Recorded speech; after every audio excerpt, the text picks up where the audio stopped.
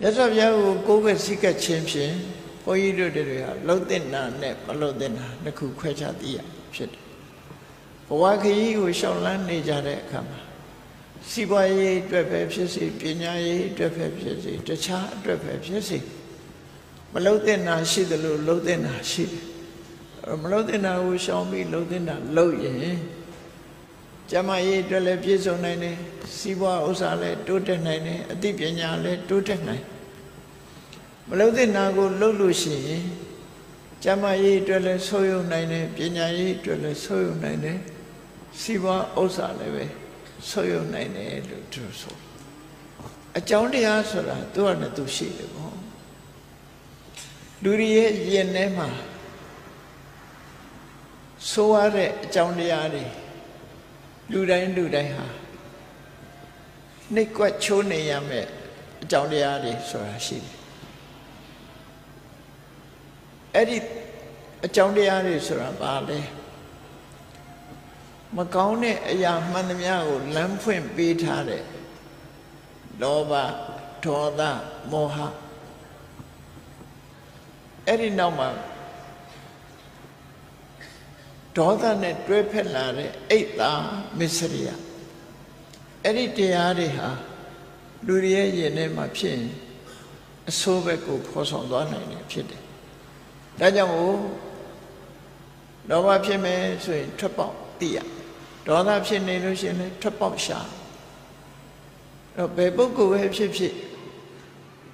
လောဘဒေါသမကင်းသေးတဲ့ပုဂ္ဂိုလ်မှန်သမျှလောဘဒေါသမောဟဆိုဖြစ်မှာပဲ။ ဖြစ်လာလို့ရှိရင်သူတော်ကောင်းတွေကြတော့ဖြစ်လာတဲ့လောဘကိုထိန်းချုပ်နိုင်တယ်ဖြစ်လာတဲ့ဒေါသကိုထိန်းချုပ်နိုင်တယ်ဖြစ်လာတဲ့မောဟကိုထိန်းချုပ်နိုင်လောဘဒေါသမောဟကိုမထိန်းချုပ်ဘူးဆိုရင်ပြဿနာတက်သွားတယ်လောကမှာရာဇဝမှုတစ်ခုကျွလွန်နေဆိုတဲ့ပုဂ္ဂိုလ်တွေဟာ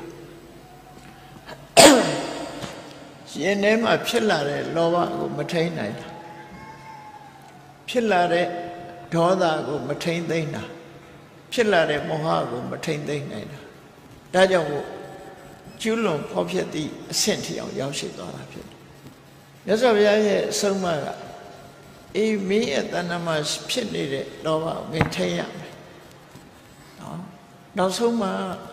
ရှင်တွေကနေထုတ်ပြရဖြစ်လာတဲ့ဒေါသထိနိုင်ရမယ်။နောက်ဆုံးမှရင်တွေကထုတ်ပြရ ဖြစ်လာတဲ့မောဟကိုထိရမယ်။ရှင်တွေမှာနောက်ဆုံးမှထုတ်ပြရပထမလျှော့ချခြင်းဒုတိယအပြည့်သက်ဖယ်ရှားခြင်းအစိုးတရားတွေကိုအဲ့လိုဖယ်ရှား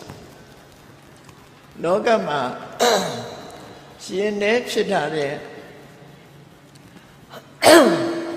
အစိုးမဟုတ်ဘူး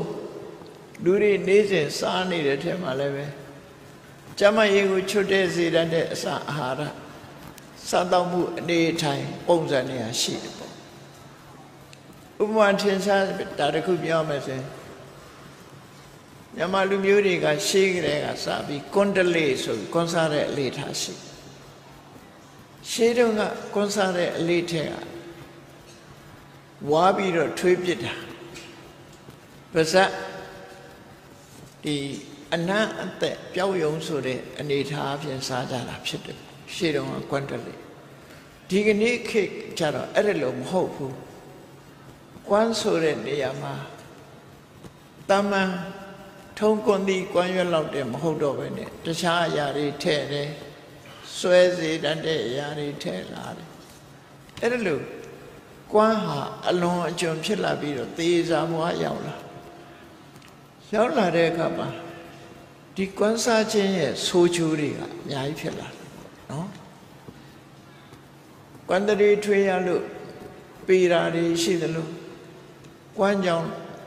ကိုယ်ခန္ဓာတွင်တန်ရှင်းအောင်မလုံးနိုင်ဘူးမလုံးနိုင်ရင်မြမကခဏိခဲမှာဆိုလို့ရှိရင်ယောဂဇိုးကြီးတွေတောင်ဖြစ်ပေါ်လာတယ်ဟုတ်လားမထိန်မှုဆိုလို့ရှိရင်ယောဂဖြစ်သည်ထိရောက်တယ်တချို့အစားအစာတွေကလည်းပဲထုတ်တူပဲယောဂဝေဒနာတွေမတည့်တဲ့အစားအစာတွေထိန်ရမှာဖြစ်တယ် ထိန်ဆိုတာဘယ်သူကိုထိန်တာတော့ဆိုစိတ်ကိုပဲထိန်ရလူတွေဟာစိတ်သွားတိုင်းကိုပါဆိုတာလို့စိတ်ကိုမထိန်နိုင်ဘူးဆိုလို့ရှိရင်လူတွေရဲ့တဏ္ဍမှာ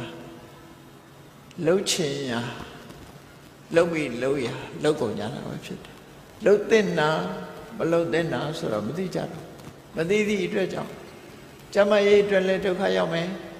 ပညာရေးအတွက်လည်းဒုက္ခရောက်တယ်စီးပွားရေးအတွက်လည်းပဲစီးပွားဥစ္စာပျက်စီးနိုင်အဲ့ထင်ပဲတလောကလုံးအတွက်အဆိုးဆုံးလို့ပြောရမယ်ဟာတော့လောဘဒေါသမောဟဆိုတာတွေအစွန်းရောက်သွားသည့်ထိအောင် extreme ဖြစ်သည့်ထိအောင်သူ့ကိုမထားပဲနဲ့မြတ်စွာဘုရားပေးတဲ့နီလန်းနဲ့ထိန်အုပ်ရမှာဖြစ်တယ်ဆိုပါစို့စင်စုံတစ်ကောင်ကိုချွန်းနဲ့အုပ်ပြီးတော့ထိန်ရ မထိန်ရင်လူတွေအတွင်းလာတဲ့ဆင်ဟာလူတွေရဲ့အသက်ပေါင်းများစွာကိုဖျက်ဆီးသွားနိုင်တယ်ပေါ့လူတွေရဲ့အိုးအိမ်စီစဉ်တွေဖျက်ဆီးသွားနိုင်တယ်အဲ့ဒီစင်စိုးကိုထိန်းရတယ်လို့ပဲလူတွေရဲ့တဏ္ဍမှာဖြစ်နေတဲ့စိတ်ဟာလည်းပဲဆင်ရိုင်းပမာဖြစ်တယ်အဲ့ဒီဆင်ရိုင်းနဲ့အလားတရံတူတဲ့လူရဲ့စိတ်ကိုတတိပညာနဲ့ထိန်းချုပ်ရမှာဖြစ်တယ် မထိန်းချုပ်ဘဲနဲ့လွတ်ထားမယ်ဆိုလို့ရှိရင်ကောင်းကျိုးတဲ့ဆိုကျိုးတွေကပိုတက်လာမှာဖြစ်အဲ့တော့မြတ်စွာဘုရားဟောတဲ့တရားကအဲ့ဒါကိုဥတည်ထားတယ်စိတ်ကိုထိမ့်သိမ့်ဖို့စိတ်ဆိုတာ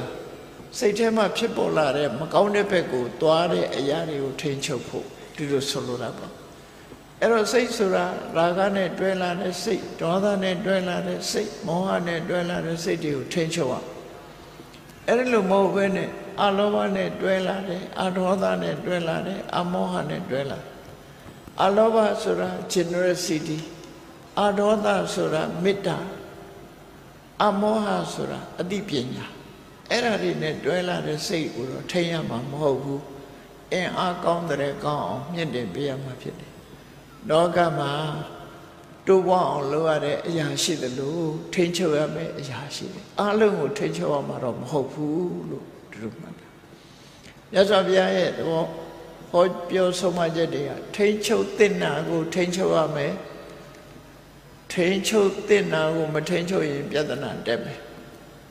မထိန်ချုပ်တဲ့အရာကိုတော့မထိန်ချုပ်ရဘူးတိုးတက်အောင်လုပ်တဲ့အရာကိုတိုးတက်အောင်လုပ်ရမယ်အဲ့ဒီနှစ်ခုသိရှိနားလည်ဖို့ကြိုးစားအထောက်အဖြစ်တယ်မထေမြတ်တို့ရဲ့အဆုံးအမအမတ်တရားစကားတွေဟာလည်းပဲ မြတ်စွာဘုရားရဲ့အဆုံးအမပဲဖြစ်တယ်ထိန်ချုပ်ရမယ့်အရာကိုမထိန်ချုပ်လို့ရှိရင်ကောင်းကျိုးချမ်းသာဆိုတာမရနိုင်ဘူးဆိုးကျိုးတွေနဲ့တွက်တယ်ဒါကြောင့်မို့အခုအပိုင်း128မြောက်မှာမထေမြတ်တပားရဲ့သူကသူထိန်ချုပ်မှုထိန်ချုပ်တတ်အောင်မြတ်စွာဘုရားရဲ့သွန်သင်ပြတာဆုံးမတဲ့အဆုံးအမကိုဘု န်းကြီးတို့တွေမှတ်သားနိုင်ယူပြီးတော့ကြည့်အောင်အလားတူကိစ္စမျိုးဖြစ်လာရင်ကိုကိုယ်တိုင်လည်းပဲဒီနီးလန်းကိုအသုံးချပြီးတော့ထိန်ချုပ်အောင်အဲ့ဒါလို့ထိန်ချုပ်နိုင်ရင်ကိုယ့်အတွက်ကောင်းကျိုးချမ်းသာတွေဖြစ်ပြီးမထိန်ချုပ်ဘူးဆိုလို့ရှိရင်သိုးတဲ့သိုးသွားနိုင်တယ်အခြေအနေဇိုးတွေကိုဖြစ်ပေါ်စေတယ်လို့သူတို့ဆိုအဲ့တော့ဒီမထေမြတ်က ယန္နာဖြစ်လို့နောက်ဆုံးမှရောက်ရှိသွားတဲ့အကျိုးကျေးဇူးကိုသူရရှိတယ်မြတ်စွာဘုရားလက်ထက်မှာတာဝတိမြို့ကကုံတဲ့တူရဲ့သားအဖြစ်ဒီမထေမြတ်ဟာလူဘဝကိုရောက်ရှိလာခဲ့တာဖြစ်တယ်။တာမန်လူတယောက်ပဲသို့တော့အရွယ်ရောက်တဲ့အခါကျတော့မြတ်စွာဘုရားကြောင်းတော်သွားပြီးတော့ ဘုရားဟောတဲ့တရားကိုနာယူတယ်။နာယူတဲ့အခါမှာယင်ထဲမှာတရားတရားတွေဖြစ်တယ်။အဲ့ဒီတရားတရားကိုအခြေခံပြီးတော့သူဟာဘုန်းကြီးဝတ်တပေါ့မြတ်စွာဘုရားရဲ့ဆုံးမတွေကိုကျင့်ကြံကြိုးကိုအထောက်ခြင်းလို့သူဘုန်းကြီးဟောလိုက်တယ်သို့တော့သူ့ရင်ထဲမှာစွဲညှိနေတဲ့သူ့ရဲ့ဇယိုက်ဝါဒနာကပါလဲလို့ဆိုရင် တွေ့တာတက်မဲ့တဲ့သဘောသူ့မှာပြင်းထန်တွေ့တာတယ်တက်မဲ့တယ်လူလူချင်းတွေ့တာတယ်လူလူချင်းတက်မဲ့တယ်ဆိုတာသူ့မှာလွန်လွန်ကဲကဲရှိတယ်ဘုန်းကြီးဘွားရောက်တော့လည်းပဲရင်ထဲကအဆွဲလန်းတွေကမပြောက်ချင်ဘူးအဲ့လိုတွေ့တာတတ်မဲ့မှုတွေသူဟာများပြားတယ်တွေ့တာတက်မဲ့မှုတွေကိုဘာနဲ့လျှော့ချရတော့လို့ဆိုမြတ်စွာဘုရား မတက်မတဲယွန်းစပွဲတွေကိုဆင်ញင်တွေးတောပြီးလျှော့ချရမယ်လို့မြတ်စွာဘုရားဟောတယ်လောကလူတွေဟာအလှအပကိုမမောတတ်တဲ့ပုဂ္ဂိုလ်တွေဟာအလှအပကိုမမောရင်းနဲ့သူဟာဒုက္ခရောက်သွားတဲ့ပုဂ္ဂိုလ်တွေရှိတယ်ပေါ့အဲ့ဒါကြောင့်မို့လို့အလှအပမမောမှုကိုလျှော့ချရမယ်လျှော့ချဖို့ကြိုးစားရမယ်အစွန်းမရောက်စေရဘူးလို့ဆိုလို့ ဒီပုဂ္ဂိုလ်ဒီမထေမြတ်ရဲ့အမည်နာမကတော့ကံလလို့ခေါ်တယ်အဲ့ဒီကံလဆိုတဲ့မထေမြတ်ဟာရာဝတ်လာတော့လဲတွေ့တာမှုတတ်မဲ့မှုတွေကလွန်ကဲနေတယ်ဒါကြောင့်မို့မြတ်စွာဘုရားကသူ့ကိုတွေ့တာတတ်မဲ့မှုတွေကိုရှော့ချတဲ့ကမ္မထံကိုပေးတယ်အဲ့ဒါလို့ကမ္မထံပေးတော့လေသူ့ရင်ထဲမှာရောကြမသွား ရောကြမသွားတဲ့အခါကျတော့မြတ်စွာဘုရားကဘာခိုင်းတော့ဆိုရင်အေးမင်းရဲ့ရာဂစရိုက်ကပြင်းထန်တယ်ဒါကြောင့်မို့ရာဂစရိုက်ကိုချိုးနိုင်မှဖြစ်တယ်ချိုးနိုင်ဖို့အတွက်တင့်တော်တဲ့နေရာကတခြားနေရာမဟုတ်ဘူးတုတ်တန်တင်းကြိုင်းမှာသွားနေတာကောင်းတယ်နော် လောကလူတွေဟာတတ်မဲ့မှုတွေ့တာမှုတွေများလာလို့ရှင်မတက်မတဲယွန်စပွဲလို့ဆိုတဲ့အရာတွေနဲ့ပဲသူဟာဖြည့်ချင်းရမှာဖြစ်တယ်ပေါ့ယောဂဖြစ်လာလို့ရှိရင်ဆေးတောက်ရသလိုဥပမာမဲ့ကိစ္စယောဂကုတယ်ဆိုတဲ့နေရာတွေမှာဆိုရင်ကိစ္စဆဲတွေကိုဒီဓကေနာတို့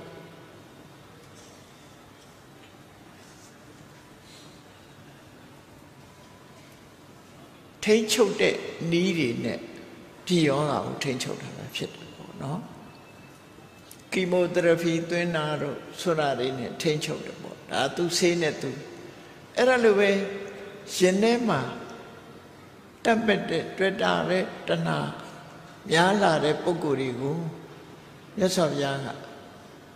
အတုပကမ္မထံလို့ခေါ်တယ်မတက်မတဲယွန်းစပွဲတွေကိုရှုမြင်သုံးတတ်တဲ့ အဲ့ဒီဤစနစ်ကိုဟောကြားရတာပဲဖြစ်တယ်လောကမှာယောဂဖြစ်လာပြီဆိုရင်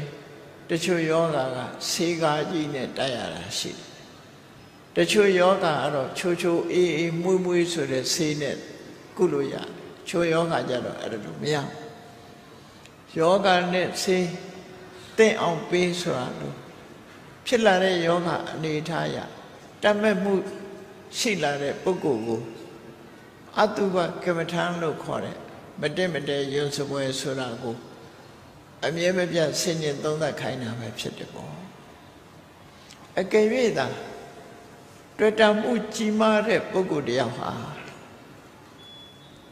သူ့မှာတင့်တယ်တယ်လှပတယ်ဆိုတဲ့အာယုန်တွေပေါ်မှာဆင်စမပြတ်ကြည့်နေမယ်ဆိုရင် သူ့ရဲ့တွေ့တာမှုတတ်မဲ့မှုတွေဟာပို့လို့ပို့လို့လွန်ကဲလာမှာပဲဖြစ်တယ်ပေါ့ပို့ပြီးတော့တိုးပွားသွားနိုင်တယ်ပို့တွားတိုးပွားသွားတဲ့ပုဂ္ဂိုလ်တယောက်ဟာနောက်ဆုံးကြတော့အခြေအနေတစ်ခုကနေပြီးတော့လဲကြပြီးဘဝမှာအရှုံးပေးရခြင်းဆိုတာဖြစ်တယ်အေးဒါကြောင့်မြတ်စွာဘုရားကဆုံးမတဲ့နေရာမှာဟောထားတာတစ်ခုရှိ သူပနုပတိဝိဟရန္တံအိန္ဒရိယေသူအတံဝုတံတွေ့တတ်မဲ့မှုရှိတဲ့ပုဂ္ဂိုလ်တယောက်ဟာဘယ်ရာကိုပဲဖြစ်ဖြစ်အလှအပမမောပြီးတော့အလှအပပေါ်မှာစိတ်ဝင်စားနေတဲ့ပုဂ္ဂိုလ်အလှပကိုသာကြည့်ခြင်းလို့ကိုယ့်ကိုထိန်းချုပ်မှုကင်းတဲ့ပုဂ္ဂိုလ်သူဝနုပတိဆိုတာလာတာအပတာကိုပဲစဉ်းစားတယ် အိန္ဒြိယေသူအတ္တဟုတံဆိုကိုယ့်ကိုထိန်းချုပ်မှုကင်းတယ်ဘောဇနမိစ္ဆမတ္တညုအဲ့ဒီပုဂ္ဂိုလ်ဟာတမစ်တတ်တဲ့ပုဂ္ဂိုလ်ဟာအစာအာဟာရမှာလည်းလောဘချီတတ်တယ်အတိုင်းတာမသိစားတတ်တယ်ပေါ့ဘောဇနမိစ္ဆမတ္တညုကုတိတံဟိနဝီရိယတွေ့တာတဲ့ပုဂ္ဂိုလ်တယောက်ဟာအတွေးဆိုတဲ့ကာမဂုဏ်အာယု ဒီနဲ့တွေးနေတဲ့အတွေးရည်ရင်ကြောမှာမျောပါနေတတ်တယ်သူ့ရဲ့စိတ်ကစိတ်ကူးရင်တတ်တယ်လို့သူဆိုလို့အာယုကြောမျောတယ်ဆိုတာစိတ်ကူးရင်အဲ့ဒီစိတ်ကူးရင်နေတဲ့ပုဂ္ဂိုလ်မျိုးတွေဟာတံဝေပတဟတိမာရောဝါတော်ရုက္ခံဝဒုပ္ပလံအဲ့ဒီလိုပုဂ္ဂိုလ်မျိုးဟာ အမြင့်မခိုင်တဲ့တစ်ပင်ကိုအမြင့်မခိုင်တဲ့တစ်ပင်ကြီးတစ်ပင်ဟာမုံတိုင်းလေးမတိုက်လိုက်နဲ့တိုက်လိုက်တာနဲ့အမြင့်ပါထောင်လဲသွားတယ်အဲ့ဒီပုဂ္ဂိုလ်မျိုးဟာလည်းပဲကာမဂုဏ်အာယုရမဲ့စောတဲ့မှာမမောတဲ့စိတ်တွေများသည့်အတွက်ကြောင့်တမန်အာယုံလေးတစ်ခုနဲ့တွေ့တာနဲ့ပဲဘဝဟာပြိုလဲသွားနိုင်တယ်လို့မြတ်စွာဘုရားဒီလိုခေါ်တာ ဒါကြောင့်မို့ဒီပုဂ္ဂိုလ်ဟာယဟန္တာလောင်းဖြစ်ပေမဲ့လို့သူ့ရဲ့ရမဇောတွေကအလုံးကိုများနေများနေလို့မြတ်စွာဘုရားကရှော့ချဖို့ရအတွက်သူ့ကိုတုတ်တံမှာနေခိုင်းလိုက်တယ်နေခိုင်းလိုက်တဲ့အခါမှာတုတ်တံဆိုတဲ့အတိုင်းပဲတလောင်းပြီးတလောင်းတလောင်းပြီးတလောင်းရောက်လာ ရောက်လာတဲ့များဟာရုပ်ပြက်ဆင်းပြက်လောင်းတွေကိုချီးပြီးတော့အတော်အသင့်တမဲ့မှုတွေကိုရှော့ချနိုင်လာတယ်ပေါ့အဲ့ဒါလို့ရှော့ချနိုင်တော့လည်းပဲသူ့ရင်ထဲမှာဖြစ်ပွားလာတဲ့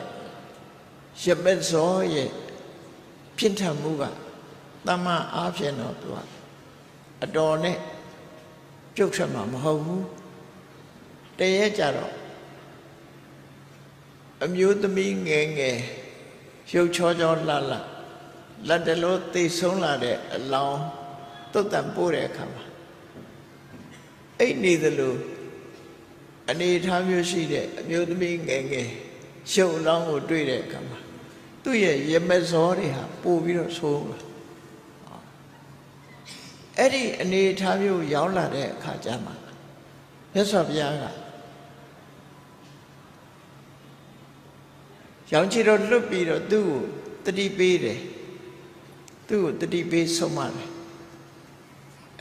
အကယ်၍သာမြတ်စွာဘုရားရဲ့စိတ်ကူမရဘူးဆိုလို့ရှိရင်သူ့ရဲ့ရမဇောတွေဟာလှိုင်းတဘိုးတဖွဲရိုက်ခတ်လာပြီးတော့သူဟာရဟန်းဘဝတောင်ဆွန့်လွတ်ခြင်းဆွန့်လွတ်သွားမယ်အနေထားမျိုးရှိတယ်ပေါ့အဲ့တော့နိဗ္ဗာန်ရဖို့တရားကြည့်ဒါနဲ့ဆိုင်သလားလို့ဆိုမဆိုင်ဘူး ပညာသင်နေတဲ့လူငယ်တယောက်ဟာလည်းရမဲစောနောက်လိုက်လို့ရှိရင်ပညာဆုံးမှာမဟုတ်ဘူးစီးပွားဥစ္စာရှာတဲ့ပုဂ္ဂိုလ်တွေဟာလည်းပဲစီးပွားဥစ္စာရှာနေတဲ့အတွင်းမှာရမဲစောလှိုင်းရိုက်ခတ်ရင်ပြဿနာတွေတက်လာပြန်တာပေါ့အေးဒါကြောင့်မလို့စီးပွားပြတ်သွားတဲ့ပုဂ္ဂိုလ်တွေလည်းရမဲစောကိုအကြောင်းပြုပြီးတော့ကိုချင်းတရားတွေပြတ်သွားတယ်ပြတ်သွားရင်စီးပွားဥစ္စာကပြတ်သွားတယ်ဒီလိုဟာလည်းရှိတယ် ပညာလည်းပြတ်သွားတယ်စီးပွားဥစ္စာလည်းပြတ်တယ်ကျမ်းမာရေးရောပြတ်သွားနိုင်တယ်လောကမှာအရေးကြီးဆုံးဖြစ်တဲ့စီးပွားကျမ်းမာပညာဆိုတဲ့လူတွေမှာအရေးကြီးဆုံးအရေးအရာ၃မျိုးစလုံးဟာဆုံးရှုံးသွားနိုင်သေးတယ်လို့သူဆိုတယ်အေးအဲ့ဒီအချိန်မှာမြတ်စွာဘုရားကသူကသူမထိန်နိုင်ဘူးဆိုရင်ဒီပုဂ္ဂိုလ်ဟာ ရမဲစောလှိုင်းချက်နဲ့ပြိုကွဲပျက်စီးသွားနိုင်တဲ့အနေအထားမျိုးရှိလို့မြတ်စွာဘုရားကသူ့ကိုတတိပေးတဲ့အနေနဲ့ရောင်ကြီးတော်လွတ်ပြီးမြတ်စွာဘုရားရဲ့အတန်နဲ့ဆုံးမဩဝါဒပေးလိုက်တဲ့စကားလေးကိုမှတ်သားကြည့်အာတုရံအတုစိန်ပုတေပတ္တကံလသမုဒ္ဒယလှမ်းပြီးတော့ပြောတာကံလ မင်းစိတ်တွေငြိမ်ငြိမ်ထားခန္ဓာကိုယ်ကြီးကိုကြည့်လိုက်စမ်းဘယ်သူခန္ဓာကိုယ်ပဲဖြစ်ဖြစ်အာတုရကြာကြာမထိုင်လိုက်နဲ့ထိုင်လိုက်ရင်ညောင်းကြိုက်လာတာပဲကြာကြာရက်မနေလိုက်နဲ့ညောင်းကြိုက်လာတယ်ကြာကြာမအိတ်နဲ့ညောင်းကြိုက်လာလူရဲ့ခန္ဓာကိုယ်ဆိုတာငယ်သူရောကြီးသူပါပြုံလူသူရောအသက်ကြီးရင်သူပါ ခန္ဓာကိုယ်ဆိုတာယောဂဆိုတာဖြစ်လာနိုင်တယ်ငယ်ရွယ်တုန်းလည်းယောဂဖြစ်တာပဲငယ်တဲ့အချိန်မှာယောဂတွေဖြစ်တယ်ကြီးမှယောဂဖြစ်တာမဟုတ်ဘူးအဲ့ဒါလို့ယောဂဝေဒနာဖြစ်လို့ဖြစ်စေခန္ဓာကိုယ်မှာယောဂတွေနှိမ့်ဆက်နေတဲ့သဘောတရားကိုကြည့်တဲ့အာတုရံအတုစိတ်ခန္ဓာကိုယ်ရဲ့အတွင်းပိုင်းကိုကြည့်လိုက် လူတကာမှန်သမျှဟာထမင်းစားတဲ့အချိန်မှာမိသားစုသို့မဟုတ်မိတ်ဆွေသင်္ကအပေါင်းအသင်းနဲ့လှလှပပပြင်ဆင်ခင်းကျင်းလို့ဂုံရှိတည်ရှိစားကြတောက်ကြတယ်လူလေကောင်မှာစားကြတောက်ကြတယ်သို့တော့ပါဇက်ထဲရောက်သွားတာနဲ့တပြိုင်နက်စားထားတဲ့အစာဟာတွေဟာ ခွေးအံပတ်လို့အသုံးဝင်တဲ့အရာတွေဖြစ်သွားပြီယွန်စရာတွေဖြစ်သွားပြီဆိုတာဒါထင်ရှားတယ်ပါဇက်ထဲရောက်ပြီးဝါပြီးပြီဆိုကြတဲ့ကဘယ်သူစားမလို့ထပ်ပြီးတော့အဲ့ဒီအဆင့်လေးကကြည့်လို့ကောင်းသေးတယ်ထောင်းကလေးပေါက်စားလေးတွေဆိုအမေကဝါခွန်ရင်စားသေးတယ်လူကြီးတော့စားမှာမဟုတ်ပါဘူးเนาะအဲ့ဒီလိုစားလိုက်လို့ဘိုက်ထဲမှာ ခန္ဓာကိုယ်ရဲ့အပူငွေ့တွေအစာအိမ်တွေချိန်ညက်စေတတ်တဲ့အရာတွေနဲ့ချက်လိုက်ပြီးဆိုတဲ့အခါကျတော့အနတ်အသက်ကတော်တော်ဆိုးလာဒါကြောင့်မို့အနတ်သက်ဆိုတဲ့အခါကျတော့တွိုင်းလက်ဆိုတဲ့အခန်းနဲ့ဝင်ချက်ထိုးပြီးတော့စွန့်ညပြန်ဘသူရဲ့တွိုင်းလက်ထဲစွန့်တဲ့အရာကမွေးကြိုင်တယ်လေဆိုဘသူဟာမမွေးကြိုင် အနန္တရီကြီးပဲကောဒီတရားဆိုတာတခြားကိုမရှာနဲ့ကိုယ့်ဟာကိုယ်ကြည့်ကြည့်လိုက်တဲ့အခါ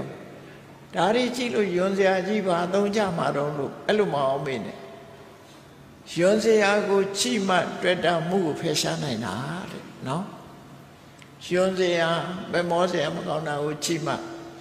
ရမက်ဇောကိုရှောင်ရှားနိုင်မှာဖြစ်တယ်ဒါကြောင့်မို့မြတ်စွာဘုရားအာတုရံအတုစိန် ခန္ဓာကိုယ်ကြီးတွေကထွက်သမျှအရာတွေဟာမတက်မတက်ယွန်စွယ်ဖြစ်တာကိုမင်းစင်ချင်းစဉ်းစားကြည့်လိုက်တဲ့ဆင်ញင်စဉ်းစားကြည့်လိုက်ပတ္တကံလသမုဒ္ဒယဒါတွေကိုတခြားကြည့်ပုတိအနတ်ကဆိုးတယ်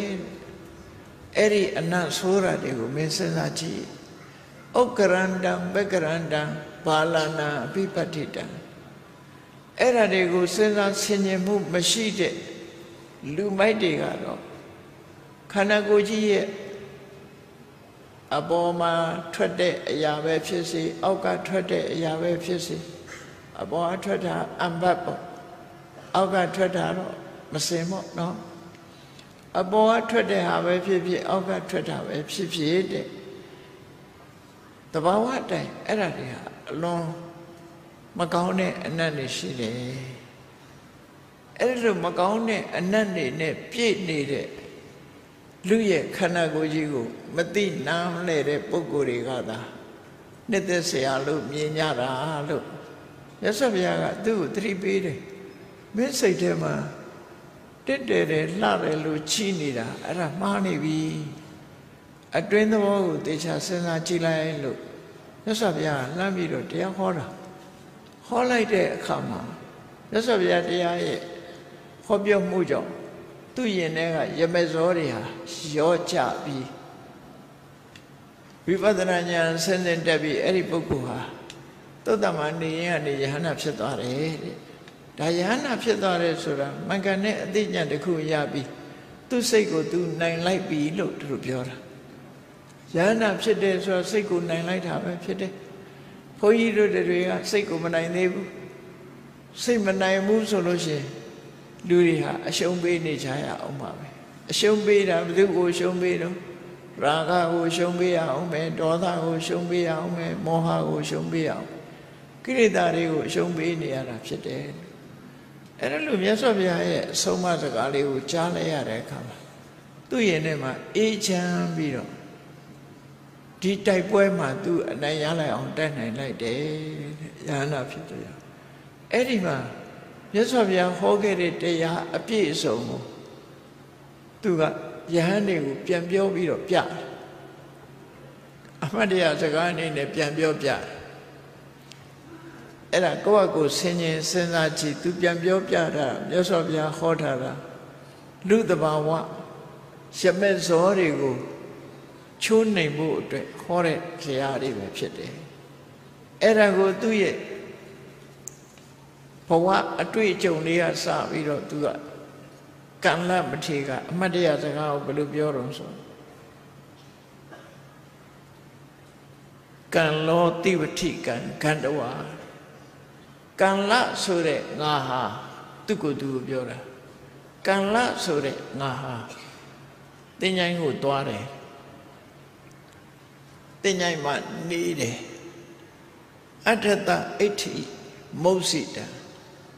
အဲ့ဒီတင်ញိုင်းနေတဲ့အချိန်လေးမှာတဲ့လောလောလတ်လတ်သေဆုံးပြီးတော့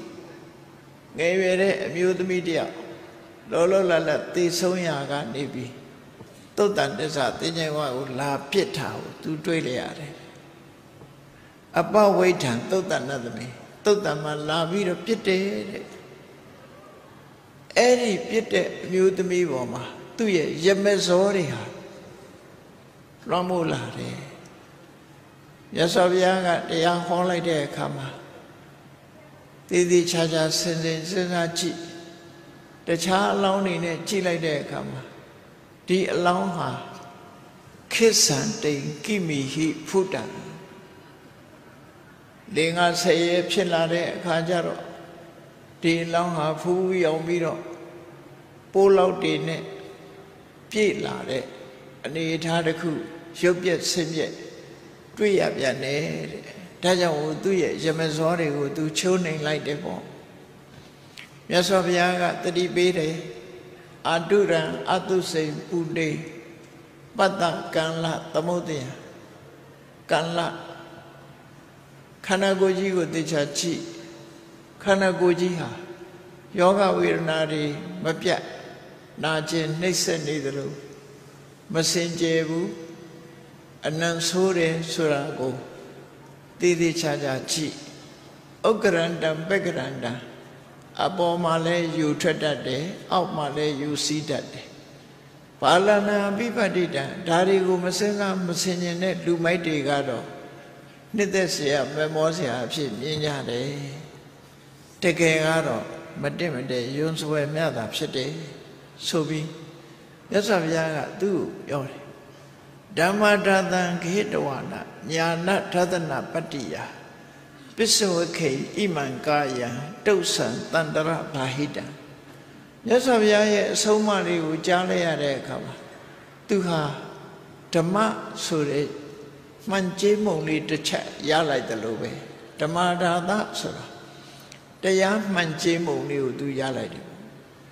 အဲ့ဒါလေးကိုကြည့်ပြီးတော့မြတ်စွာဘုရားလမ်းကြောင်းပေးလိုက်တဲ့အဆုံးအမတကားလေးကိုကြည့်เสียရှုเสีย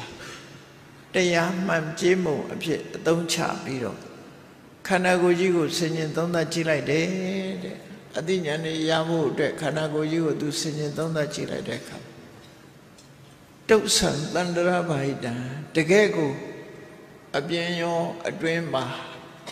ခန္ဓာကိုယ်ကြီးမှာ နှစ်သက်เสียမမောเสียမျက်နှိုးเสียဆိုတာတခုမှမရှိဘူးဆိုတာသူတွေ့ရပါတယ်ယထာဣဒံတထာဣဒံယထာဣဒံတထာဣဒံလူတွေအသက်ရှင်နေတဲ့ပုဂ္ဂိုလ်တွေဟာအသက်ရှင်နေတဲ့ပုဂ္ဂိုလ်တွေရဲ့ရုပ်အလောင်းသိဆုံးသွားတဲ့ပုဂ္ဂိုလ်တွေရဲ့ရုပ်အလောင်းဟာဘာမှထူးခြားမှုမရှိဘူး နှစ်ဦးနှစ်ခုစလုံးဟာရှင်စရာမနှစ်သက်စရာတွေနဲ့ပြည့်နေတဲ့အရာတွေများတာဖြစ်တယ်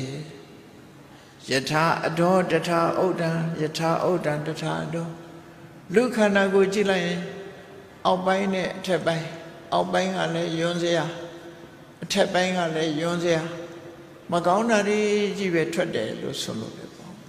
နှစ်သက်မြန်လို့စရာလူခန္ဓာကိုယ်ကထွက်လို့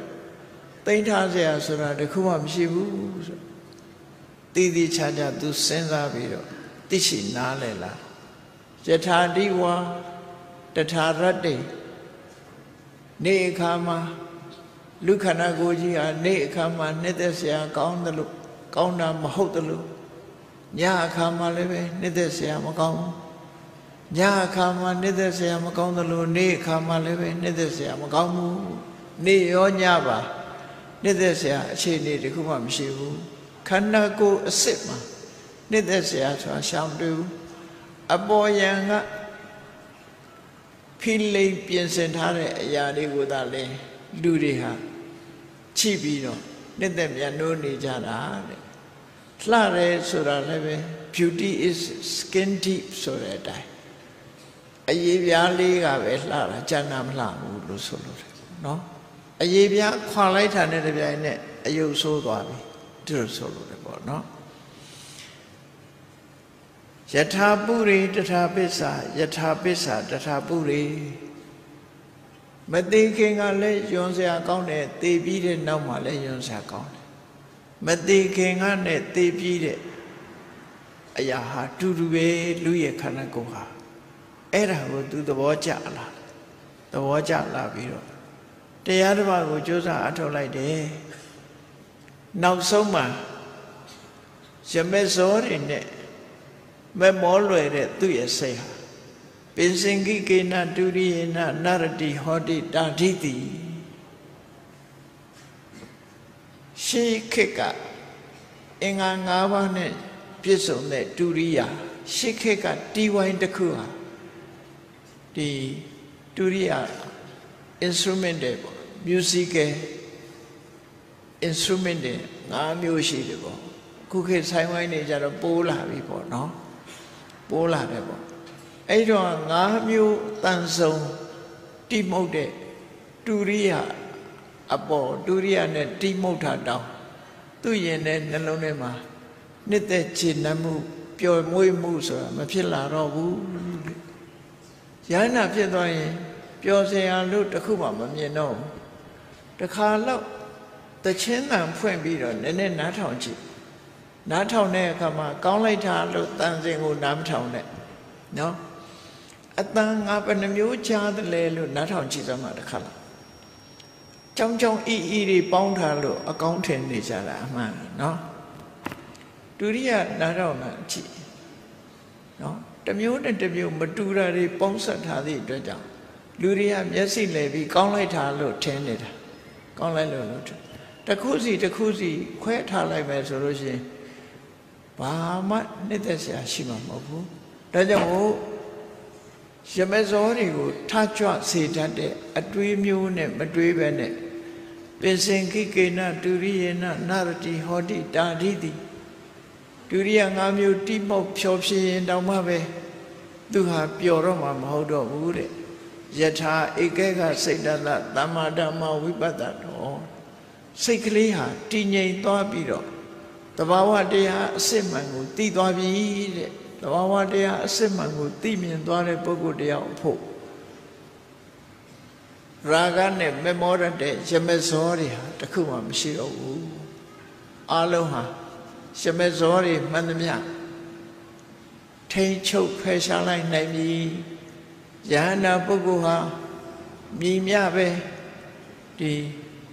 နှစ်သက်စရာကောင်းကောင်းနှစ်သက်မှုဆိုတာမလာတော့ဘူးမြည်မြပဲမုန်းစရာကောင်းကောင်းမုန်းတဲ့စိတ်မပေါ်တော့ဘူးမြည်မြပဲတွေးဝေစရာဖြစ်တော့လည်းပဲအတိကိုတွေးဝေထိုင်မဲစေတတ်တဲ့ illusion ဆိုတာယဟနာတွေမှာမဖြစ်တော့ဘူးအလုံးဟာအမှန်အကန်ကိုပဲမြင်နေအမှန်အကန်တိုင်းပဲစဉ်းစားတတ်တယ်ဆိုတော့ လောဘကြောင့်လည်းမတုံ့လို့တော့ဘူးဒေါသကြောင့်လည်းမတုံ့လို့တော့ဘူးယန္တာရဲ့စိတ်ဟာတည်ငြိမ်ပြီးတော့သွားတယ်အဲ့ဒါကိုကံလမထေမြတ်သူယဟန္တာဖြစ်တဲ့အခါမှာအခုလိုအမတ်တရားစကားတွေကိုပြောဆိုခဲ့တာဖြစ်ပါတရားချက်ခင်သူတော်စင်ပြိဿပေါင်းလို့မိမိတို့ကိုယ်တိုင်ယဟန္တာအဆင့်မဟုတ်တော့လည်းပဲယယမဇောဆိုတာထိန်းချုပ်ရမှာဖြစ်တယ် ကာမဂုဏ်ယမဇောကိုမထိန်းနိုင်ဘူးဆိုရင်ကျမ်းမာရေးလည်းပျက်စီးနိုင်တယ်စီးပွားရေးလည်းပျက်စီးနိုင်တယ်ပညာရေးလည်းပျက်စီးနိုင်တယ်ဒေါသဆိုတဲ့အမိုက်ဇောကိုမထိန်းနိုင်ဘူးဆိုလို့ရှိရင်လည်းမဖြစ်တဲ့ပြဿနာတွေဖြစ်လာနိုင်တယ်မောဟဆိုတဲ့တွေ့ဝေမှုကိုရှော့ချခြင်းမပြုတ်နိုင်ဘူးဆိုလို့ရှိရင်မလုံးတဲ့နာတွေကိုလုံးမိတာလုံးတဲ့နာကိုမလုံးမိဘူးဆိုတဲ့အမားတွေကိုကျွလွန်မိပြီး လောကမှာအဆိုးနဲ့သံဃာလဲတတ်တယ်တဲ့ဒါကြောင့်မို့ဒီကနေ့မထေမြတ်တို့ရဲ့အမတ်တရားစကားဆိုတာဟာလူတိုင်းလူတိုင်းအတွက်တန်ဖိုးကြီးမားတဲ့ဘဝလက်တွေ့သင်္ကန်းစာယူရမယ့်အချက်များသာဖြစ်တယ်တရားချက်ခင်သူတော်စင်ပြိဿအပေါင်းတို့ယန္နာမထေမြတ်တို့ရဲ့အမတ်တရားစကားတွေကို မှတ်သားနာယူပြီးနဖူးပေါ်လက်တင်ဆင်ញင်သုံးသက်ကြည့်ခြင်းအပြင်မိမိတို့ဘဝမှာလည်းပဲအဖြေတစ်ခုထုံနိုင်ဖို့ကြိုးစားအထောက်ကြအောင်မှာဖြစ်တယ်လို့ကိုယ်စီကိုယ်စီတတိထားပြီးဘဝအေးချမ်းအောင်ကြိုးစားအထောက်နိုင်ကြပါစေကုန်သတည်း